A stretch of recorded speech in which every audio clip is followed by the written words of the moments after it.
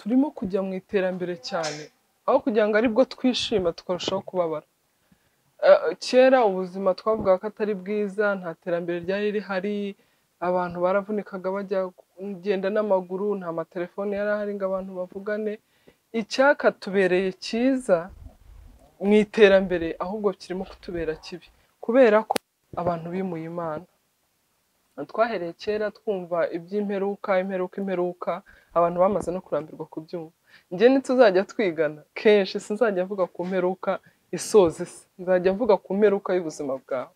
Kuko ntabwo tuzi igihe n'isaha umuntu apfira twese duhora tugenda mu mayira ukajya kumva umuntu akoze impanuka arapfuye umuntu aba ari aho yaririnze arya neza ibimutungira umubiri neza ariko ukajya kumva ngo kanseri yamufashe ni ibintu biteye ubwoba kandi tutamenya igihe dupfira.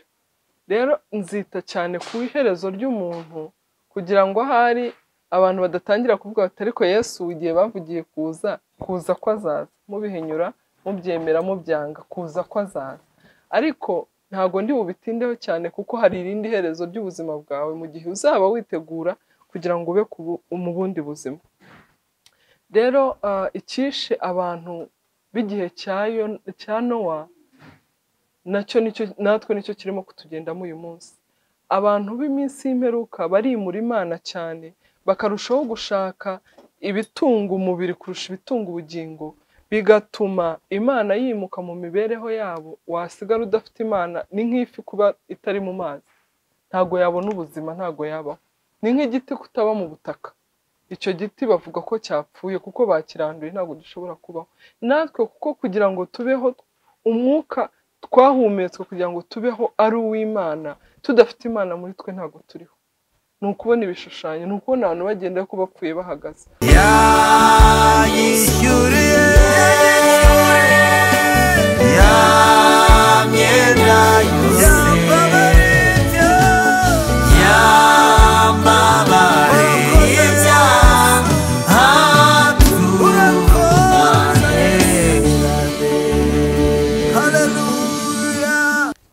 ikaze inshuti bakunzi ba hembura tv ndanezerewe uyu munsi ko imana isohoje umugambi wayo.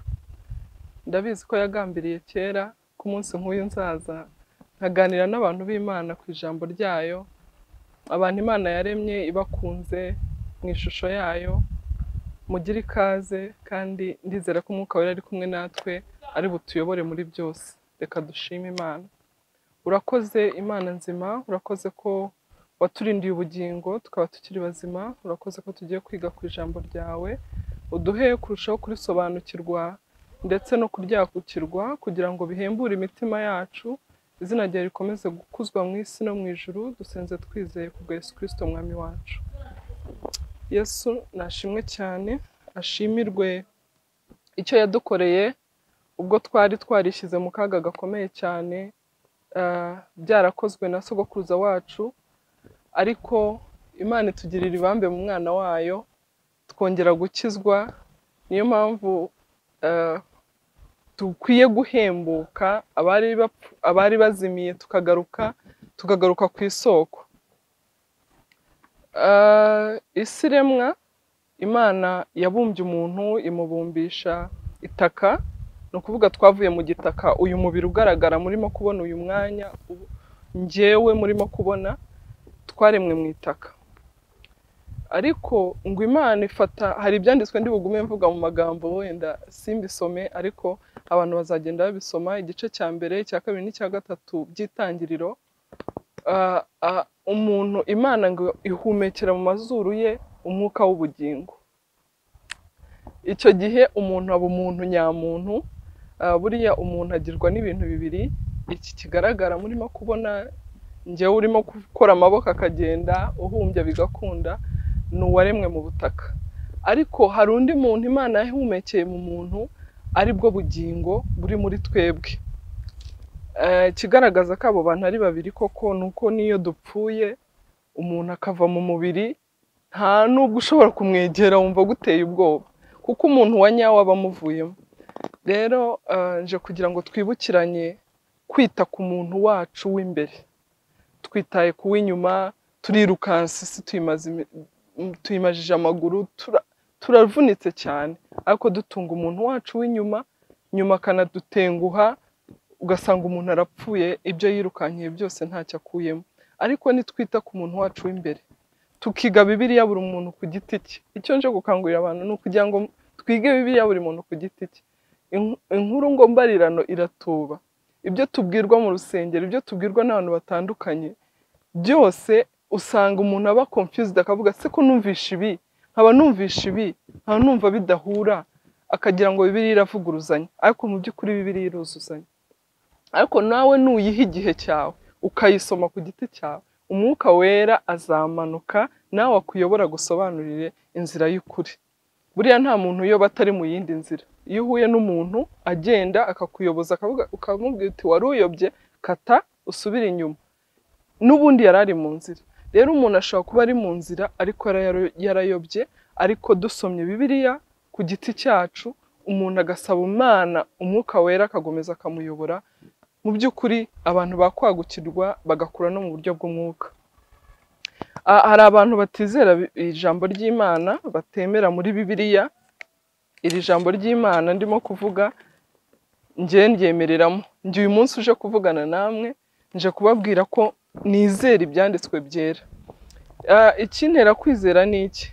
Hari definition ubwo mbuze uko mbyita mu kinyarwanda iboneka mu baheburayo igice cya cumi na rimwe ivuga kwizera icyo ari cyo. Kwizera ni ukumenya rwose ibyiringirwa udashidikanya ko bitazaba kandi niko kuduhamiriza ibyo tutareba ko ari iby'ukuri. Ngiyo definition yo kwizera. Kandi n'iyo bitaba bibiliya no mu buzima busanzwe kwizera ni uko umuntu yakuvuga. Wiringira ikintu udashidikanya ko kitari bubi. Uko niko kwizera. Naho uvuze uti nizeye ko ndi burye kandi ibyo kurya biri ku meza sinibwira kuko ari ukwizera. Kuko ibyo wari wiringiye n'ubundi byamaze kuhagera. Ahubwo ibyiringiro ugira mu kintu utarabona kizaba ni byo twita kwizera. Kandi nanone iyo tugize uko kwizera niko tukumenyesha neza ko n'ibyo tutabona bihari. Imana ishimwe cyane. Niba dushobora kubyuka mu gitondo umuntu akavuga ntago afite sekuru wagiye muri amerika cyangwa nyirasenge cyangwa undi uwo ari we wese ariko akabyuka mu gitondo akavuga ati njye ndashaka kubona green card nkagenda muri amerika. Ubuzima bwanjye bugahinduka. Nkava muri ubu bukene. Kuki atagira akantu kamubwira kati ariko wagerayo? Bakagufata abanyamahanga bakagukubita ibiboko bakakwica. Kwizera afite kumutera kumva najyayo ubuzima bwe buzahinduka. Rero nanjye kwizera ndimo kubabwira ni ukwa bibiliya kudutera kumva ko ah, icyo ijambo ry'imana rivuga ari iby'ukuri? Imana tutabonye n'amaso yacu tukizera ko ihari kubera ko ari ukwizera ku biduteye. Rero dufite ibyiringiro by'ibyo tutabona dufite ibyiringiro by'ibitaza iby'ibitaraba kuko bizaba kandi twizeye imana yacu nubwo tutarayibonesha amaso yuko ihari. Icyo rero ni cyo cyanteye ikintu ki- ki- ki- ki- ku mutima cyatumye nshaka kugira ngo nganire n'abantu ku ijambo ry'imana mbabwire ukuntu hari umunezero muri uko kwizera kandi iyo byizeye wemera ko n'ibi ibi byanditswe bidufite imbere yacu byahumetswe n'imana. Nk'uko umurongo ubivuga muri petero wa muri yohana wa kabiri um, I mean Timoteyo wa kabiri sorry Timoteyo wa kabiri igice cya gatatu umurongo wa cumi na gatandatu.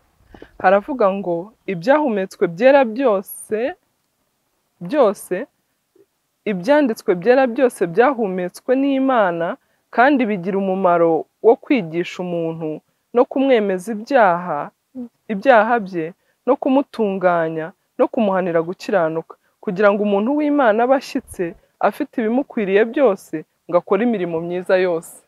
Haleluya ah aya magambo ni meza cyane. Iyo wamaze kugira uko kwizera ukamenya ko iki gitabo atari igitabo gisanzwe nk'ibindi byose ujya ubona ugasobanukirwa neza ko ari ibyahumetswe n'Imana ngo uyu mumaro bikugirira?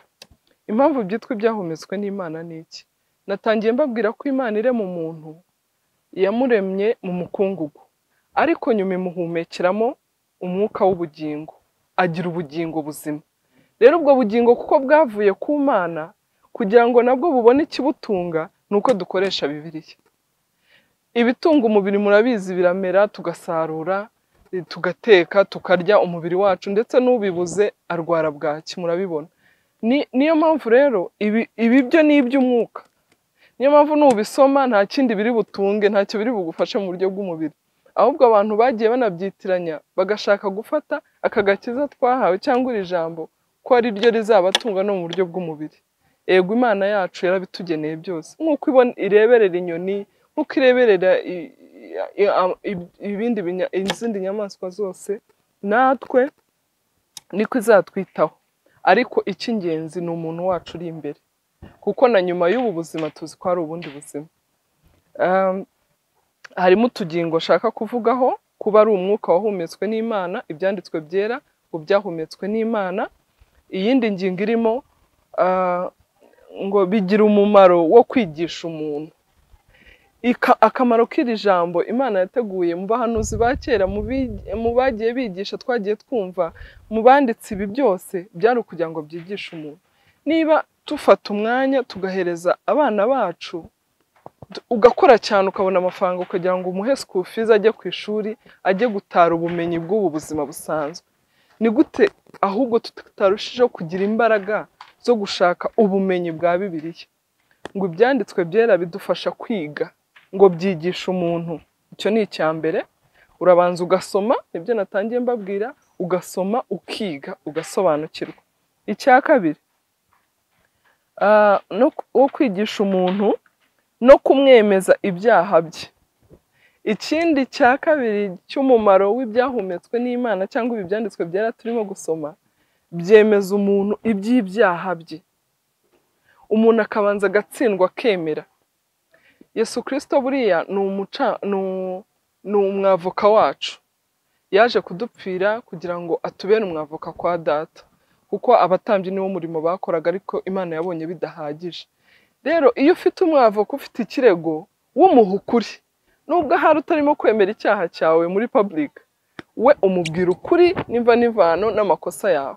Ariko we iyo agiye muri kode arakudefanda. We aba afite ukuri. Rero bibiliya idufasha kwemera ko turi abanyacyaha. Buri muntu wowe unkurikiye nanjye uvuga turi abanyacyaha ku bwa adamu. Twese bibiliya iravuga ngo twakoze ibyaha ntitwashyikira ubwiza bw'imana. Rero umumaro w'ibyanditswe ni ukukwereka uwo uri we. Ni ukukumurika itoroshi ugasobanukirwa ububi bwawe. Ngo uwo umumaro nanone wa kabiri. Ah, no kumutunganya. Habonetse ikindi cya gatatu ibyo byahumetswe n'imana bikora. Kandi iyo umuntu amaze kwisobanukirwa akaza kwa yesu akabivuga byose akavuga n'uburyo atishoboreye ku giti cye n'uburyo agerageza gukora ibyiza ibi bikamutanga imbere akababazwa na byo. Hari undi mumaro w'ibyanditswe byera harimo ibyiringiro by'uko twezwa. Amaraso ya yesu kirisito akadukuraho icyo kizinga. Ngo ibyaha byacu naho byaba bitukura tukutuku. Arabyeza.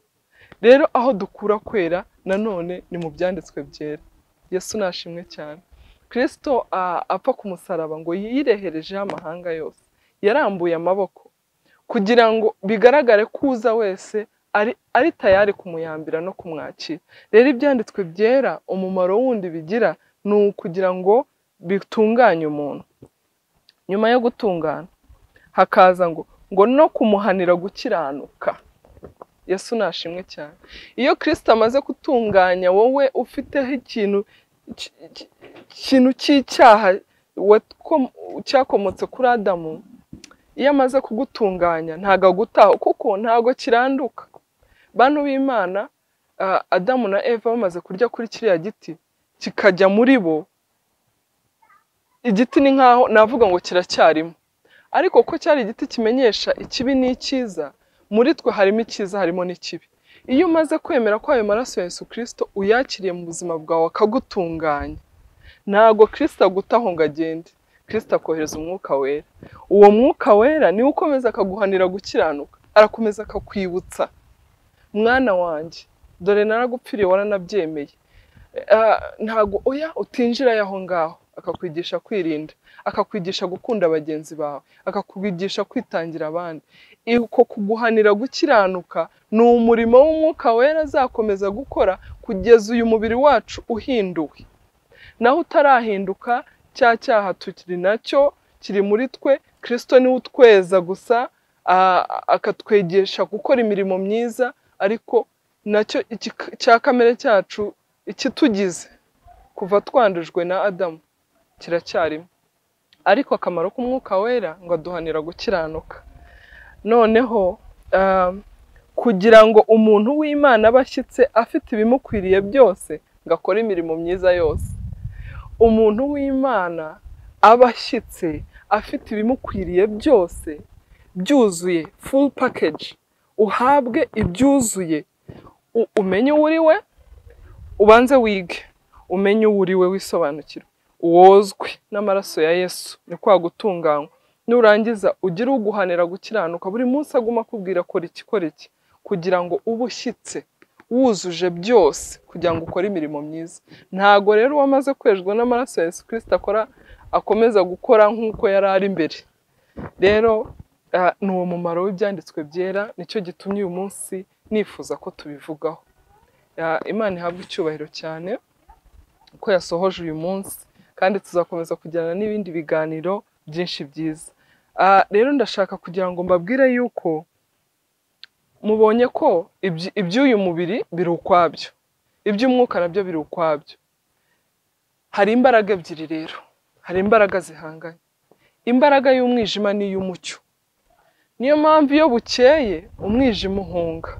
Bwakwira umwijima ugarutse ntabwo umucyo uhunze abize na sayansi na yo ijya itugirira umumaro. Ni isi i- irotatinga ahubwo aho aho izuba rigeze nyine ahandi harijima. Ariko umucyo uhora ari umucyo uhora waka. Ni ukuvuga uh, izuba ryo rihora ryaka. Ahubwo twebwe uko twizengurutsa ni hamwe haza igicucu hagahinduka umwijima.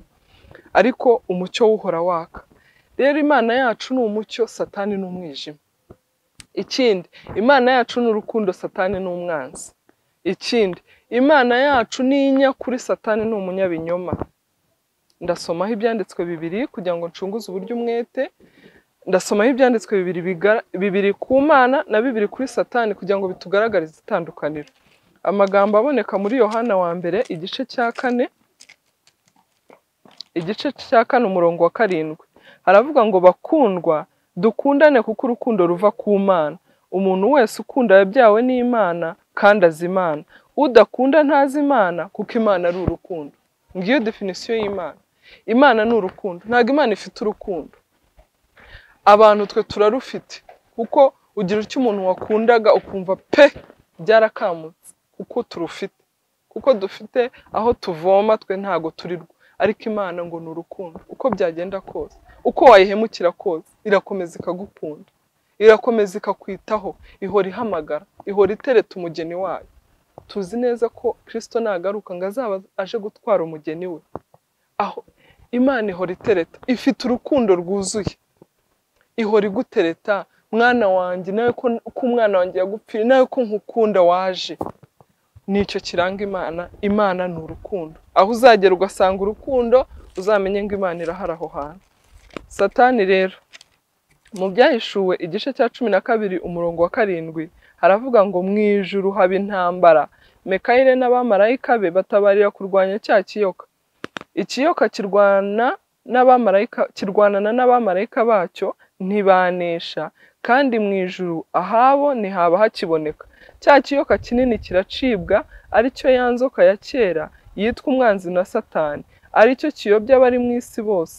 Nuko kijugunywa mu isi abamarayika bacyo bajugunywana na cyo ngo ari we mwanzi na satani. Tumaze kubona ko imana ari urukundo. Noneho satani definition yibaye umwanzi. Iyo wumvishe ngo umuntu wa umuntu runaka ni umwanzi wanjye uhita umenya ko atakwifuriza amahoro. Ntabwo yifuza gutera imbere ntabwo yifuza kubaho ntabwo yifuza kubyara ntabwo yifuza ikintu icyo ari cyo cyose cyaguhesha umunezero. Ngo uwo satani. Kandi hepfo harakomeje aravuga ngo we icyo ashinzwe ni ukuyobya abari mu mwa bantu mwiyo ngeze hano ngira n'ubwoba bwinshi cyane. Ko satani niba akazi ke turabizi ko ataryama ntazi harya twigize abakozi ngo twirirwa twirukanka ngo dushaka satani ntiyicara ntaryama arazerera. Ngo ameze nk'intare ushaka kuwiconcomera ni umubeshyi kandi umurimo we ni ukuyobya abari mu isi.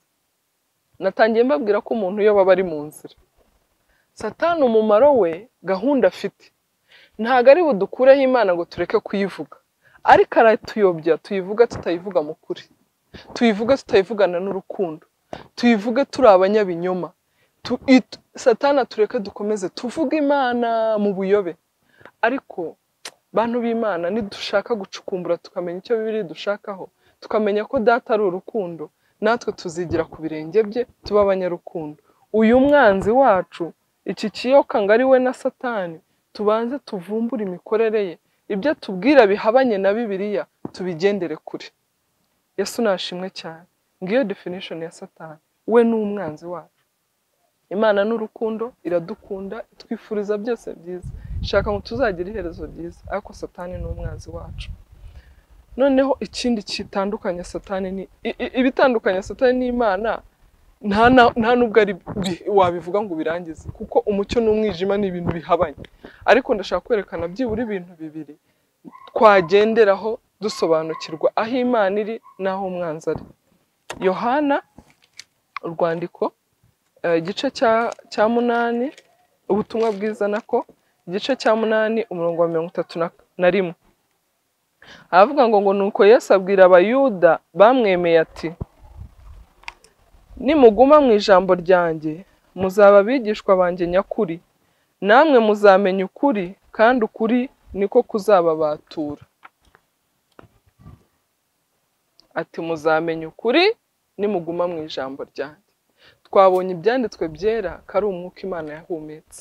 Twabonye ijambo ry'imana ko ari ryo rituma tubaho ubuzima nyabuzima bituma umuntu wacu w'imbere aba muzima. Ngo nidusobanukirwa ijambo ry'imana kuko ari ryo jambo ry'ukuri tuzabaturwa. Nta bundi bubata. Tuzabaturwa ku cyaha. Icyaha ni cyo kigejeje isi ya none ahangaha icyaha ni cyo gitumye uwubatse ababaye uwabuze umugabo ababaye umukire ababaye umukene ababaye umwana muto turumva ngo abana bato barimo kurwara depression ukibaza umwana muto arwara gute depression? Arimo kubura icy'ingenzi arimo kubura ababyeyi be hafi kuko ntago bamenye ukuri kw'icyo umwana akeneye. Barimo kumushakira icyo adakeneye. Barimo kwirukanka inyuma y'amafaranga bagasigira umukozi ibyo kurya atari bunamugaburire atari bumuganirize mwa bantu mwe. Nitumenya ijambo ry'imana niryo rizaduha ukuri kuko dukwiye kubaho mu buzima busanzwe bwa buri munsi ntago iyo umuntu yigisha ijambo ry'imana hari igihe abantu babyimistapuritinga bakavuga bati nitubabwira ko icy'ingenzi ari ugutunga umuntu w'imbere baratera abantu ubunebwe kudakora n'iki abantu ba- benshi bavuze ubutumwa bwiza barakoze. Abantu benshi bamenye imana bari bafite ubutunzi ba yobu turabizi ba aburahamu turabizi. Ariko icya mbere bari bafite mu buzima bwabo byari yesu byari imana mu mitima yabo. Bakumva bibikiye iryo jambo. Ry'umwuzuro n'umunezero. Rero ukuri kw'ijambo ry'imana kuzatubatura muri iyo miruho yose dufite. Kristo yaravuze ati abarushye n'abaremerewe muze munsange ndabaruhura twari turuhijwe n'ibyaha byacu. Twari turuhije no gutunga uyu muntu. Ese muzi ngo ibitunze umuntu ubundi? Muzi ngo ni na byinshi cyane. Ntabwo ari byinshi na gato. Ariko kubera imitima yacu itanyuzwe turirirwa twirukanka twarasaze twataye umutwe. Kristo aravuga ati ibyo byose bikurushije ibyo byose bikuremereye ngwino usange ndakuruhura. Ngo rero nitumenye ijambo ry'imana kuko ijambo ry'imana ari ukuri rizatubatura. Satani rero wameze ati aho muri icyo gice n'ubundi umurongo wa- mirongo ine na gatatu. Nicyo gituma mutamenya imvugo niki gituma mutamenya imvugo yanjye? Nuko mutabasha kumva ijambo ryanjye. Mutabasha kumva ijambo ryanjye mukomoka kuri so satani. Kandi ibyo so ararikira ni byo namwe mushaka gukora. Kandi ntiyahagaze mu by'ukuri kuko ukuri kutari muri we. Navuga ibinyoma avuga ibye ubwe kuko ko ari umunyabinyoma kandi ari se w'ibinyoma. Yesu nashimwe cyane. Satani ngo ni se w'ibinyoma. Tumaze kubona ukuri kw'ijambo ry'imana ariko nanone tubonye ko satani ari se w'ibinyoma. Ngo ni umunyabinyoma w'ibyo avuga byose nta kuri kurimo. Niyo mpamvu yasanze adamu yasanze eva akamubwira ati ariko harya yarababwiye ngo nimukarye kuri kiriya giti? Aho kugira ngo ababwire iby'ukuri imana yamubwiye ko kizabamenyesha ikibi n'icyiza kandi bagapfa we yarababwiye ati reka reka reka murahita mumera nk'imana. Icyo ni ikinyoma cyari cyambaye ubusa yabikoreye kugira ngo akomeze ahangane n'imana nk'uko yari yarabikoze mu ijuru ashaka kugira ngo mbe intebe ye ayizamure abone abayoboke abone abamukurikira. Ariko ni se w'ibinyoma. Ndashaka kubabwira uyu munsi ko satani ari se w'ibinyoma. Ibyo atubwira byose ibyo atwereka nk'aho ari ibi- ibinezeza ni ibinyoma gusa. Turarwaye. Turwaye indwara y'icyaha. Satani aho kugira ngo atureke twisobanukirwe tujye ku maraso ya yesu kirisito atweza dutunganye waratubeshya ati ntago murwaye. Ahubwo dore ibyishimo aho biri. Akaduhereza nk'uko waba urwaye malariya wagenda umuganga akayikubonamo yangiza akaguha amaparasitamoro ngo wivure umutwe akaguha umuti w'umuriro. Urumva ibi byose twirirwamo. Ibi byose twirirwa inyuma dushaka amafaranga dushaka ubutunzi. Twibwira ko ari byo binejeje bizaduha amahoro. Izo ni parasitamoro ni ububeshyi bwa satani. Amahoro mazima ari muri yesu kirisito umunezero w'ukuri uri muri data. Ibyo byose ni inyongera. Tubifite biza biherekeje. Murabizi ko zeru igira agaciro inyuma y'umubare. Niba hari rimwe ugashyiraho amazero menshi uko yongera niko n'umubare ugi- ugira ubunini. Ariko iyo uhereye ku mazeru umubare wese waheze inyuma uguma ari uwo mubare. Rero abantu bankurikiye tuzakomeza no kwigana. Ndashaka ngo tumenye tumenye gufata icy'ukuri ni na cyo gituma ubona ko turimo kujya mu iterambere cyane aho kugira ngo ari bwo twishima tukarushaho kubabara.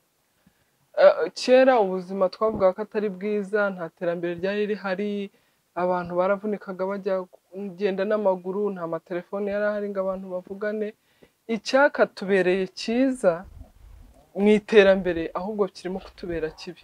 Kubera ko abantu bimuye imana. Twahereye kera twumva iby'imperuka imperuka imperuka abantu bamaze no kurambirwa kubyumva njye ntituzajya twigana. Kenshi sinzajya mvuga ku mperuka isoza isi nzajya mvuga ku mperuka y'ubuzima bwawe. Kuko ntabwo tuzi igihe n'isaha umuntu apfira twese duhora tugenda mu mayira ukajya kumva umuntu akoze impanuka arapfuye umuntu aba ari aho yaririnze arya neza ibimutungira umubiri neza ariko ukajya kumva ngo kanseri yamufashe. Ni- ibintu biteye ubwoba kandi tutamenya igihe dupfira. Rero nzita cyane ku iherezo ry'umuntu kugira ngo ahari abantu badatangira kuvuga bati ariko yesu igihe bavugiye kuza kuza ko azaza mubihinyura mubyemera mubyanga kuza ko azaza ariko ntabwo ndi bubitindeho cyane kuko hari irindi herezo ry'ubuzima bwawe mu gihe uzaba witegura kugira ngo ube mu bundi buzima. Rero icyishe abantu b'igihe cya nowa na cyo natwe ni cyo kirimo kutugendamo uyu munsi. Abantu b'iminsi y'imperuka barimura imana cyane bakarushaho gushaka ibitunga umubiri kurusha ibitunga ubugingo bigatuma imana yimuka mu mibereho yabo wasigara udafite imana ni nk'ifi kuba itari mu mazi. Ntabwo yabona ubuzima ntabwo yabaho. Ni nk'igiti kutaba mu butaka. Icyo giti bavuga ko cyapfuye kuko bakiranduye ntabwo gishobora kubaho. Natwe kuko kugira ngo tubeho umwuka twahumetswe kugira ngo tubeho ari uw'imana tudafite imana muri twe ntabwo turiho. Ni ukubona ibishushanyo ni ukubona abantu bagenda ko bapfuye bahagaze. Ah, reba ukuntu iminsi y'imperuka iteye ubwoba. Ngo ubuhe mu- muri timoteyo wa kabiri igice cya gatatu. Ubuhenebere buteye ubwoba bwo mu minsi y'imperuka. Umenye yuko mu minsi y'imperuka hazaza ibihe birushya. Noneho reba bibiliya yo ubwayo kwivugira iti ibintu bizaba mu gihe cy'imperuka. Ni ubuhenebere ni ibintu birushya ni ibihe biruhije. Mw'abantu mwe turarushya twese murabizi abadafite yesu bararushya. Njyewe nimvuga nari mvuze twese kuko isi irarushya muri rusange ariko abafite yesu dufite amahoro. Nubwo wabona tudafite ibyo dukeneye bifatika ariko dufite amahoro muri yesu kirisito impamvu dufite amahoro ni iki? Ni ukubera ko tuzi umuntu wacu w'inyuma n'aho yapfa hari ubundi buzima bwa nyuma y'ubu kandi tuzabona ubugingo buhoraho. Ngiki giteye ubwoba cy'iminsi ya nyuma. Murabona inzara yaraje. Ibintu biteye ubwoba abantu baricana.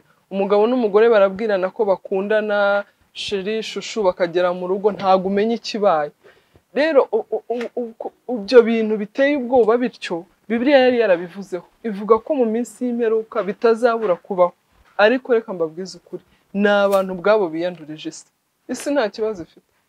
Se muzi ngo isi ntikera. Nubwo eh, wenda eh, ubutaka bugenda bwangirika nabwo nitwe tu- tubwangiza. Ariko mu by'ukuri ntabwo abantu batuye isi. N'ibiryo byera birutanwa ubwinshi ku buryo abantu ari benshi kuruta ibyo kurya ariyo mpamvu turimo gusonza. Ahubwo ibiryo hari abafite sitoke y'imyaka makumyabiri hari n'abadafite iby'uwo munsi. Kubera iki? Twimuye imana mu buzima bwacu urukundo ruvamo. Abantu bazana ah, kwikunda. Reka dusome iki cyanditswe turagenda dukuramo ingingo. Umenye yuko mu minsi y'imperuka hazaza ibihe birushya kuko abantu bazaba bikunda bakunda impiya birarira bibona batukana batumvira ababyeyi babo indashima batarabera badakunda n'ababo batuzura babeshyerana batirinda bagira urugomo badakunda ibyiza bakagambana ibyigenge bikakaza bakunda ibibanezeza aho gukunda imana. Bafite ishusho yo kwera ariko bahakana imbaraga zako abameze batyo ujye ubatera umugongo. Ibi byavuzwe kera imyaka ishize sinayibara. Ariko e, intumwa zarabibonye. Biraduhanurirwa biratubwirwa ko ibyo bintu bizaba. Ngo mu minsi y'imperuka mwumvisha ibintu byose bizaba. Abantu barikunze abantu biyitayeho. Ntawe ureba mugenzi we abantu baba bavukana ari babiri. Umwe bakavuga ngo yapfuye yishwe n'inzara. Afite mugenzi we bavukana mu nda ya mama na papa. Uri famasi mu bukire. Urukundo rwarakonje. Abantu ntibakundana. Abantu ntago barimo gushyira imbere bagenzi babo. Abantu ni ibyigenge. Abantu ni abanyarugomo. Umuntu ashobora gukunda urugomo akagera aho yemera akabura umugore we n'abana be. Akavuga ati ngewe rwose wenda mbure umuryango wanjye ariko nibere mu rugomo rwanjye. Tujye tuva aha tujye aha tugende tu- abantu babaye ibyigenge ntibashaka kumva amategeko y'imana ntibashaka kumva ay'igihugu ntibashaka kumva ayo ku kazi ntibashaka kumva ayo mu rugo. Abantu ni ibyigenge. Ibyo byose rero byamara ku- kuza mu isi bikuzurirana bikadutera ibyago byose murimo kubona duhura na byo. Abantu ntibamenye aho bahungira. Amanama agatangira akicara ngo barashaka amahoro. Ntaho azava amahoro ari muri yesu kirisito depression igiye kwica abantu kubera ko ntabwo bazi icy'ingenzi ni iki mwabana umwe dufashe yesu kirisito tukamwikomezaho wenyine. Ibindi bikaba ari ibintu by'umugereka bi- bigeretse gusa. Nta kintu cyadutera depression. Nta muntu watubabaza ko yesu ntazigera kwanga. Ntabwo ari yesu uvuga ngo uyu munsi ndagukunda ejo naguhararutswe ahora agukunda. Ntabwo ari yesu uvuga ngo aho bigeze noneho birananiye. Ibi si ndi bubibashe. Yesu ahora abishoboye. Imana yacu niyo kwizerwa nitwemera kwimura uwo mubeshyi. Uwo mwanzi wacu akatuvira mu buzima. Tukimika umukunzi wacu tukemera imana kugenga ubuzima bwacu. Dore ko ari we waduhumekeyemo uyu mwuka w'ubugingo. Rega ibidusohokamo ibyo tubona bigaragara biba byahereyemo imbere. Ni byo tuba twatekereje ni byo tuba twagambiriye. Ariko nidutekereza ibyiza tugatekereza iby'urukundo rw'imana. Tugatekereza kugirira neza bagenzi bacu kubana n'abantu bose amahoro nk'uko icyanditswe kibivuga. Hazasohoka ibyiza muri twe. Amahoro turimo gushaka ntabwo tuzigera tuyabona tutamenye umukunzi w'amahoro. Utanga amahoro uvuga ukuri. Umuntu yakwibaza ati kubera iki satani ni umwanzi satani ni umubeshyi. Kubera iki abantu ari we bahitamo? Ni uko ari umubeshyi. Muzarebe. Umuntu ushobora kumubwira ikintu ari ukuri ushaka kumuha ukuri nyine kw'ukuntu bireba. Akavuga ngo wamusuzuguye. Kubera isi yamaze kwiziba amatwi ntigishaka kumva ikintu cyose kijyanye n'ukuri. Kirisito wambwira yarazize iki? Nubwo yari azi afite intego yo kugira ngo aducungure ariko iyo urebye ikintu abantu bamwiciye urakibura nta cyaha yari yakoze. Ariko yababwiraga ukuri. Ukuri rero isi ntabwo igushaka ariko ndashaka ngo tujye muri bibiliya. Abantu bemera imana muze dusome bibiliya tuyigishe n'abatayizi. Nu- n'uwabaye ruharwa tumubwire ko imana imukunda aze dukundane. Nibyo bizatuma abantu bose bamenya ko turi abigishwa b'imana. Kugira ngo twe kumera nk'ab'iki gihe ba- ba- bayobowe n'umubi. Dusabe imana rero tugirire neza ngarukiye ahangaha tuzajya tugira ibyigisho byinshi cyane tuzajya twigana amagambo menshi ya bibiliya kugira ngo aruhure imitima yacu. Abantu bararushya ariko kirisito ni we utanga amahoro kirisito aradukunda imana ntijya inanirwa ntijya iturambirwa ntijya ituruha ngo itureke ikomeze rero kutugirira neza kandi duhe guhora duteze amatwi no kugira inzara n'inyota by'ijambo ryayo mbibasabiye mu izina rya yesu kirisito umwami wacu. Urakoze mwami imana kutajya uhinduka urakoze ko usohoje kuri uyu munsi. Ah, abatubanjirije bagiye bagenda ingendo nyinshi kuvuga ubutumwa bwiza warabyoroheje aho nicaye hano ngiye ntambukije ubutumwa bwiza ndakwinjiza kugira ngo bukore ku mitima y'abantu kandi turusheho gukunda iby'ijambo ryawe mu izina rya yesu kirisito umwami wacu. Amen.